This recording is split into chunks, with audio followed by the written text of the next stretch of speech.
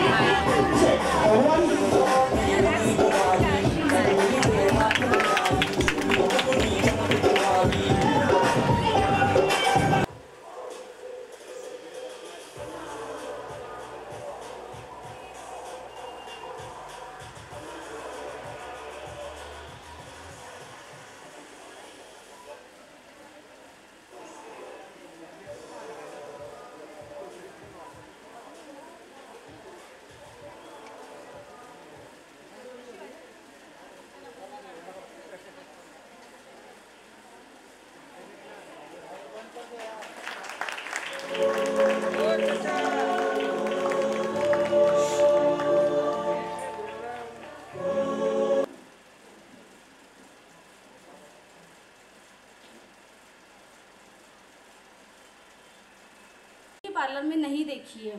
तो वो मुझे एक बहुत अच्छा लगा यहाँ पे। मुझे ऐसा लगा कि सच में मुझे तीन महीने का कोर्स था।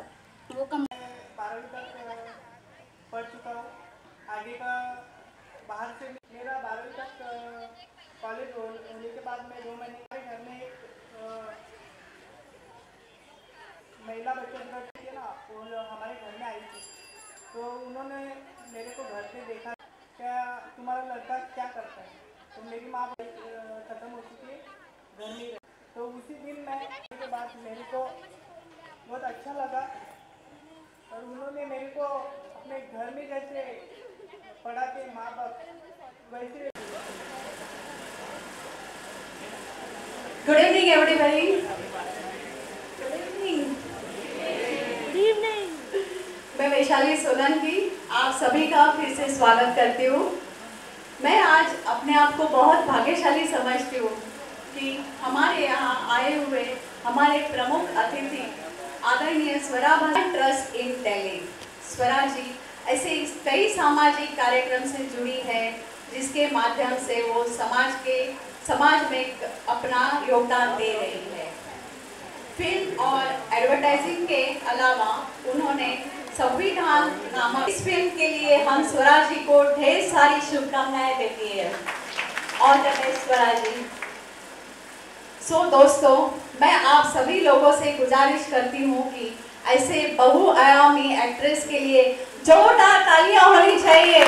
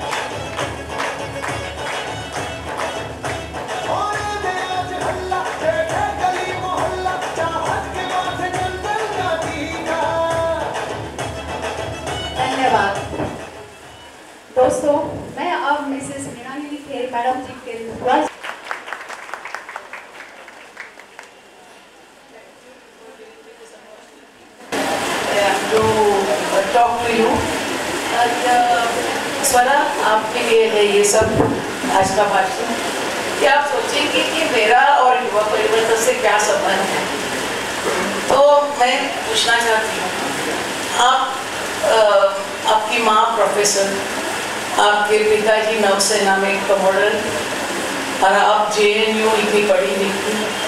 और आपने ये सिनेमा जैसे लाइन कैसी पकड़ी।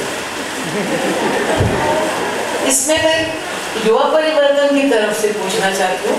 आपको मम्मी ने बताया, बाजू वाली ने बताया, मोहल्ले के लोगों ने कहा, और नहीं तो क्या होता है, भाई बोलता है, बड़ा भाई, पिताजी, किसने आपको बोला कि ये लाइन में जाना?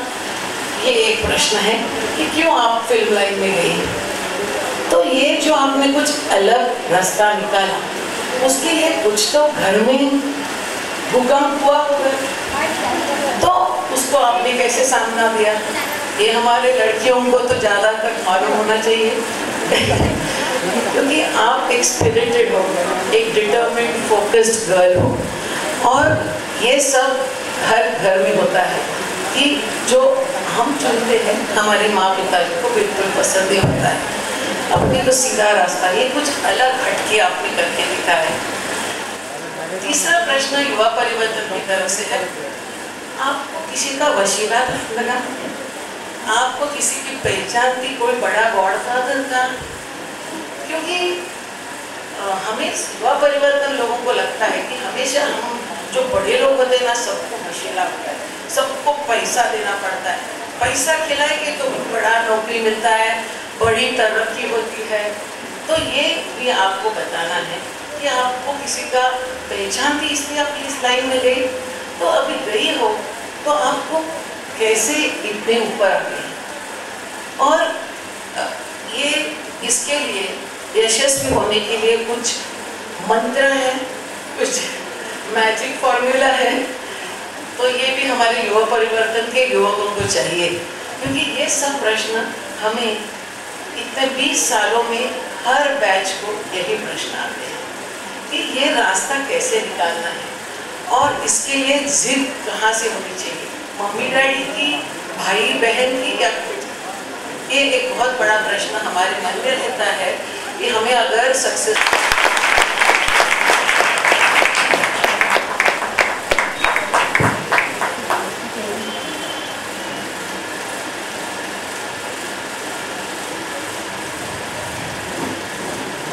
हेलो दोस्तों.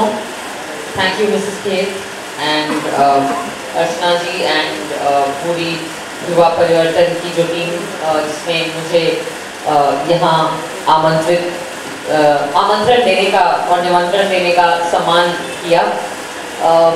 मैं बहुत ज़्यादा नहीं बोलूँगी। मुझे लगता है मुझे पता है कि एक्टर्स स्क्रीन पे अच्छे लगते हैं बोलते हुए। और वो भी दूसरे लोगों के डायलॉग हमारे अपने डायलॉग नहीं। Uh, लेकिन एक छोटी सी चीज़ शेयर करना चाहूँगी।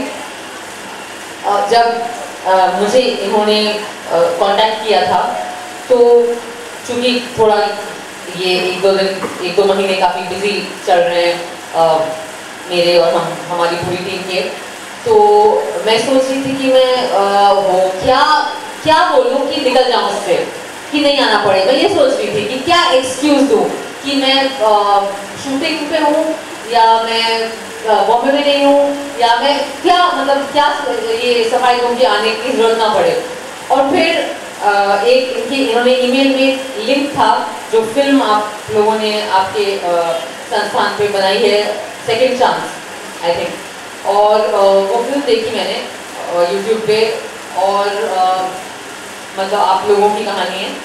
और मुझे बहुत ज़्यादा शर्म आई अपने ऊपर। कि मैं ये सोच भी रही थी कि मैं कैसे मना करूँ या क्या एक्सक्यूज़ दूँ। क्योंकि यू नो हम लोग हम एक्टर्स जो हैं जो स्टार बनने के और सेलिब्रिटी और और बड़े सेलिब्रिटी और सलमान खान और शाहरुख खान और अमिताभ बच्चन बनने के चक्कर में अ, हम ये ये अक्सर भूल जाते हैं कि ये हम करते कैसे हैं। ये हम हम आप सबकी कहानी बताकर के ज़रिए करते हैं।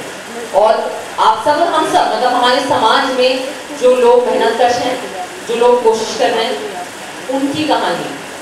हम जो इंसान सफल है सफलता की कहानी में कोई कहानी नहीं है।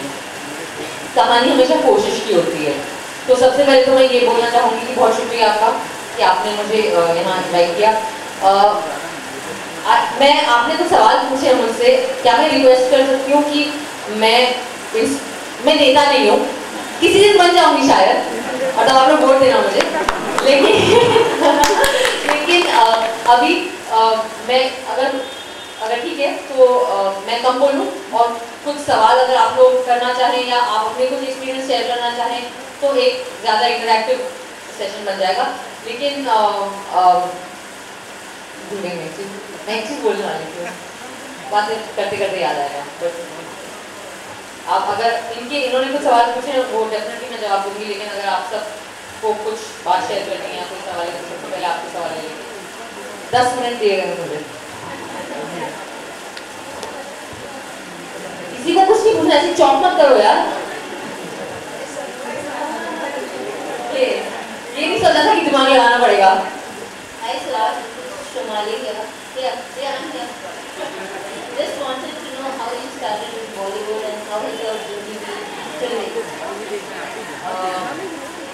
Well मैं मैं बहुत ही एक आम सी लड़की हूँ अभी भी। अ, मैं बेसिकली कॉलेज में पढ़ रही थी जे एन यू में।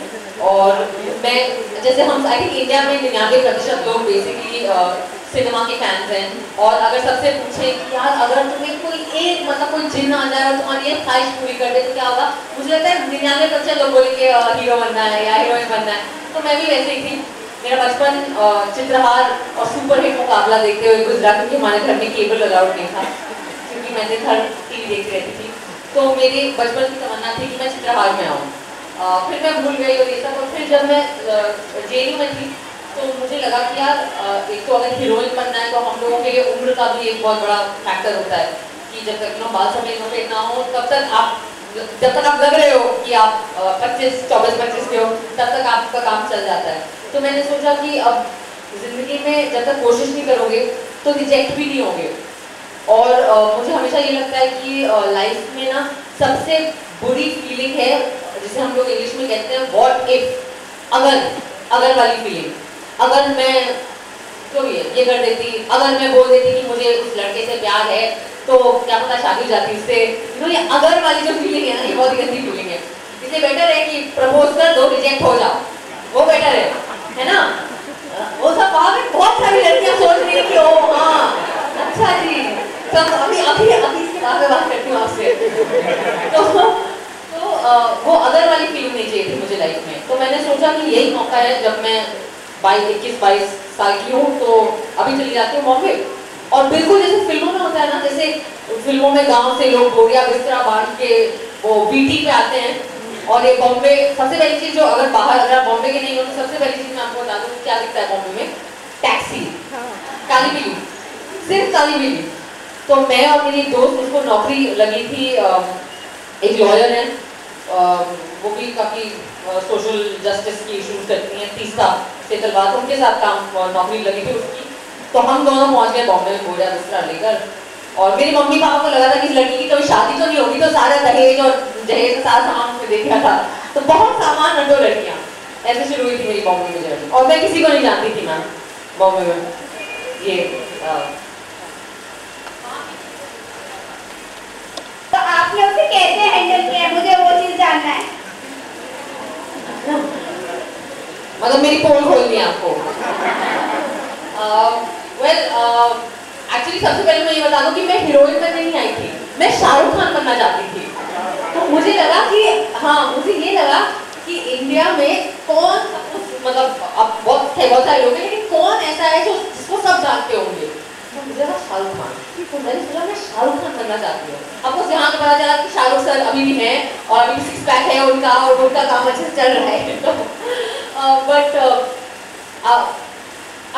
तो मुश्किलें हमेशा आएँगी। वो डिपेंड करता है आपका सफ़र कौन सा है और क्या है और आपकी शुरुआत कहाँ मेरे जैसे कई लोगों के लिए, मैं अपने, मैं मैं ये, मेरे जैसे कई लोग हैं और और, और सबने अलग अलग किस्म की सफलता हासिल करी है। हम लोगों के लिए सबसे बड़ी चीज़ होती है बॉलीवुड में कि आपका आप आउटसाइडर हैं आप बाहर के हैं आपका कोई परिवार नहीं है यहाँ कोई बाप दादा नहीं है कोई अंकल नहीं है चाचा बॉयफ्रेंड जो फ़िल्म इंडस्ट्री के अंदर है जो फ़ोन उठा के यू नो बोलेगा कि अरे यार करण इससे मिलो ये मेरी वट एवर भतीजी है। तो वो नहीं है वो बहुत बड़ी चीज़ है क्योंकि बॉम्बे में इतने लोग आ रहे हैं मतलब मुझे लगता है रोज हज़ारों लोग आते हैं एक्टर बनने। तो बिना किसी रेफरेंस के आप सिर्फ़ उस भीड़ का एक हिस्सा हो। तो हम सब के लिए सबसे बड़ा चैलेंज वही होता है जो बाहर से आते हैं, जो अपने घर परिवार को छोड़ के आते हैं। बम्बई आसान शहर नहीं है रहने के लिए स्पेशली अगर आप यंग हो। बट मुझे लगता है कि बम्बई शहर और हमारी इंडस्ट्री की सबसे अच्छी बात ये है कि यहाँ अच्छा काम नहीं छुपता अगर मतलब आप कोशिश लाभ कर लो, लेकिन अच्छा काम सर चढ़कर चिल्लाता है। और मुझे लगता है लाइफ में भी ऐसा ही है। तो अगर आई डोंट नो अगर आपको याद है, नवाज़ नवाजुद्दीन सिद्दीकी एक एक्टर हैं, जो आजकल काफ़ी अच्छा बड़ा काम कर रहे हैं। आपको याद है वो मुन्ना भाई बीबीएस में वो वो शख्स है जो पिटे थे, सुनील दत्त से। एक सीन है रेलवे स्टेशन के बाहर, याद है वो सीन जहाँ सुनील दत्त साहब उतरते हैं स्टेशन पर एक आदमी पिट रहा है। वो था नवाज़। सो मैं वही कह मैं अकेली नहीं हूँ, बहुत सारे हमारे जैसे लोग हैं। और एक एक क्वालिटी होती है लाइफ में, जिसे हमारे माँ बाप बोलते हैं बुरी क्वालिटी है, लेकिन बाहर की दुनिया में जाकर जब हम कोशिश कर रहे हैं ना अपने सपने पूरे करने के लिए तो वो बड़ी अच्छी क्वालिटी है। पता है क्या? ढीठ होना। ढीठ पता है? ढीठ को आई नो मराठी में क्या कहते हैं? जिद्दी। हाँ double double I don't know जिद्दी होना, ढीठ होना, मोटी चमड़ी। मोटी चमड़ी है मेरी। तो चाहे जिसने जो भी बोला, मैंने कभी उसको मतलब वो मेरे को, लोग अक्सर अजीब सी बहुत सारी चीज़ें बोलते हैं। आप अगर एक्टर हो तो लोगों को लगता है कि कुछ भी बोल सकते हैं। वो इस इनके बारे में कुछ भी कह सकते हैं। तो मुझे याद है, मुझे एक बार एक बंदे ने ये बोल के निकाला था कि तुम बहुत ज़्यादा इंटेलिजेंट लगती हो। इसलिए तुम हीरोइन नहीं बन सकती। मुझे आज तक समझ में नहीं आया कि इंटेलिजेंट और हीरोइन और क्या इसका क्या रिलेशनशिप था मतलब मुझे एक्टिंग करनी है। बट तो हाँ मोटी चमड़ी।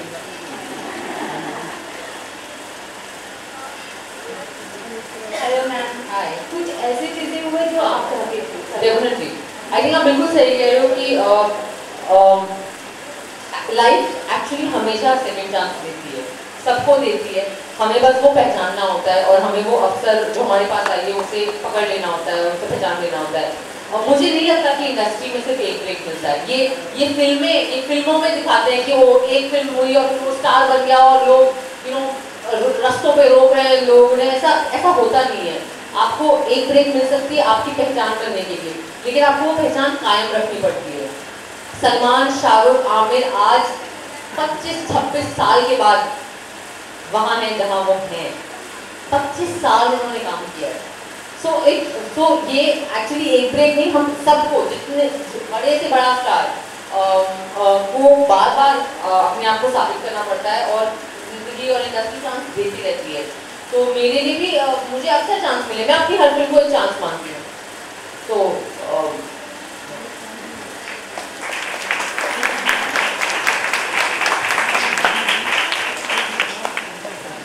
आपसे डायलॉग सुनना चाहता हूँ। मूवीज़ सन्नाटा मूवी का वो डायलॉग है। और ये डायलॉग इसलिए सुनना चाहता हूँ क्योंकि हमारे जो तो यहाँ पे युवक है बेसिकली सब लोग फाइनेंशियली कंडीशन सबका स्ट्रांग नहीं है आई मीन वीक है। तो उसी से रिलेटेड है वो डायलॉग कि जो लोग अमीर नहीं होते पर जो जिनके जो गरीब होते हैं उनके पास एक वो चीज़ होती है जो वो कर सकते हैं। शायद आपको याद आने का यार आप सबने मुझे यहाँ पे क्या एग्ज़ाम देने के लिए बुलाया क्या? वो वो सेंट्रल बोर्ड वाला एग्ज़ाम जो आपको भी लेना पड़ता है। अ, लेकिन हाँ बहुत खूबसूरत डायलॉग है नीलमणि सन्नाटा अब मेरी पिछली फ़िल्म है अगर आपने नहीं देखी तो ज़रूर देख लो क्योंकि आपके अच्छा यही से दिखा ओ भाई फिर आपको बता रही हूँ जो डायलॉग और बहुत खूबसूरत डायलॉग है जहाँ पे चंदा मेरा जो किरदार है वो रत्ना मैम से कहता है कि अ, अ, रत्नान कहती हैं कि नहीं ये कहती है कि अगर अगर गरीब के पास रत्नान कहते हैं कि इंसान दो चीज़ से बनता है, मेहनत या किस्मत। तो चंदा कहती है कि अगर गरीब के पास किस्मत होती तो वो गरीब थोड़ा ही होता। तो रत्ना मैम कहती है हाँ इसकी बची मेहनत, और वो हमें करनी पड़ेगी। लेकिन इससे सॉरी रिलेटेड से ज़रूर एक चीज़ बोलना चाहूँगी कि मैंने इस फ़िल्म को करते हुए और फ़िल्म इंडस्ट्री में, जो मैं पिछले सात साल से हूँ मैंने एक चीज़ सीखी है कि ना, एक बहुत बड़ा झूठ है हमारी दुनिया में। जो फैला हुआ है समाज में और हम सब उस पर विश्वास रखते हैं। आपको पता है क्या क्या है गैस कर सकते हैं? हाँ? एक वर्ड है। गैस करो यार। हाँ? अगेन आई नो मराठी में उसको क्या बोलते हैं लेकिन अ, हम लोग बोलते थे औकात। औकात बोलते हैं ना हम लोग अक्सर लाइफ में भी यूज़ करते हैं। लड़ाई वड़ाई में भी यूज़ करते हैं ना तेरी औकात क्या है है ये दुनिया का सबसे बड़ा झूठ है क्योंकि इस वर्ड को यूज़ करके हमारी मानसिकता में ये डाल दिया जाता है कि हमारी औकात ही नहीं है कि हम वो सपना देखें। लेकिन लाइफ की असलियत ये है कि कोई भी सपना बहुत बड़ा नहीं होता और सपना सपना देखने वाले की कोई औकात नहीं होती और आई थिंक कि आप लोग जो काम कर रहे हैं यहाँ पे आप उस इस फिलोसफी का आप साक्षात हो। तो अ, मैं बस कंग्रेचुलेशन कहना चाहूँगी आप लोगों को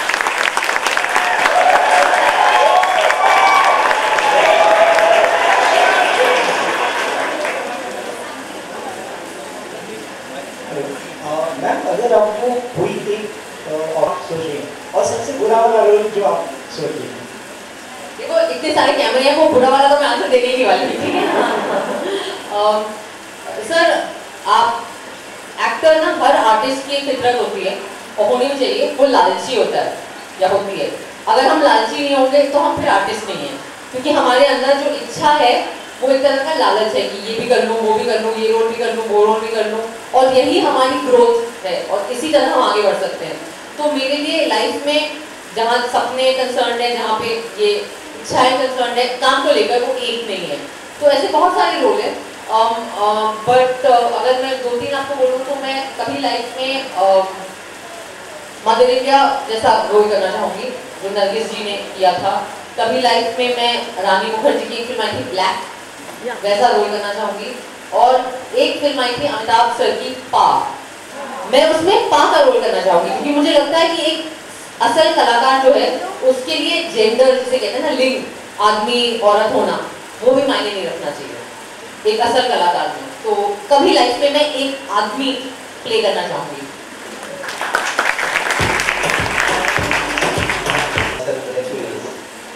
सबसे पहले तो you can look forward to Anarkali of Vaishali ji Arrah.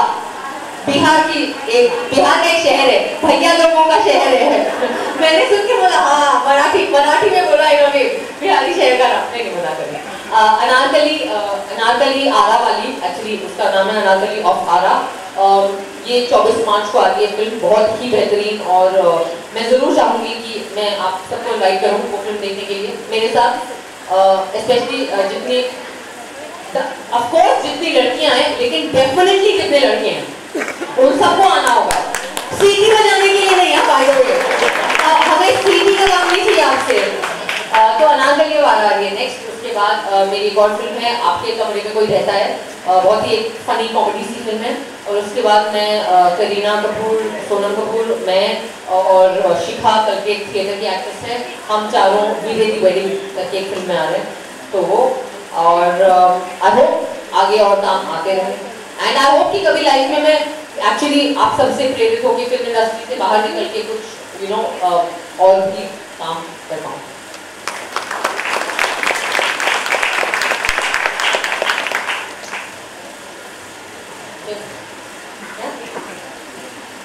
Thank you thank you so much ma'am तक यहाँ पे मैम पीछे आ जाओ पीछे आ जाओ।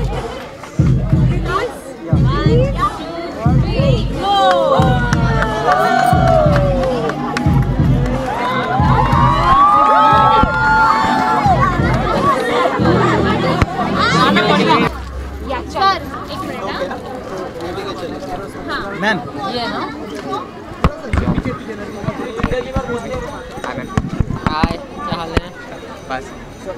ಯಾರು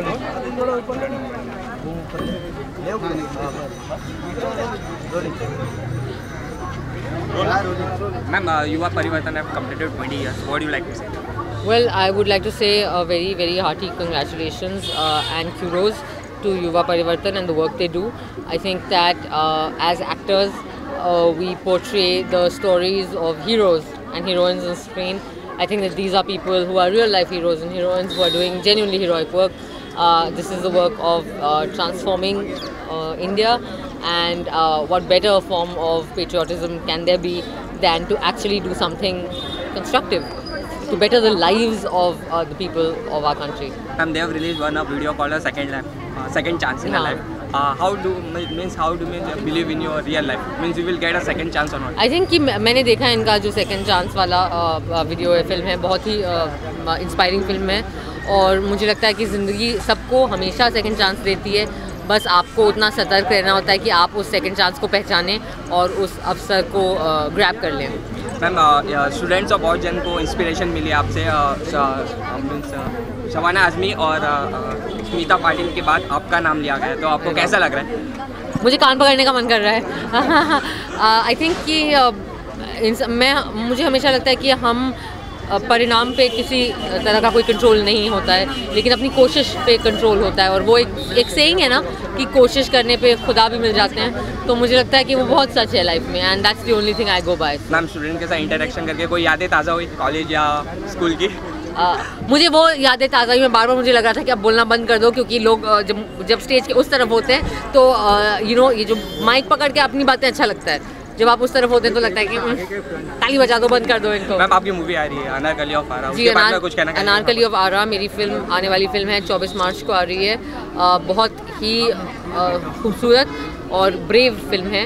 एंटरटेनिंग भी है कमर्शियल भी है लेकिन एक बहुत ही सही मुद्दा भी है उसमें और एक बहुत अच्छी बात कहती है फ़िल्म तो मैं चाहती हूँ कि ज़्यादा से ज़्यादा लोग देखें इस फ़िल्म को। Thank you thank you so much thank you you,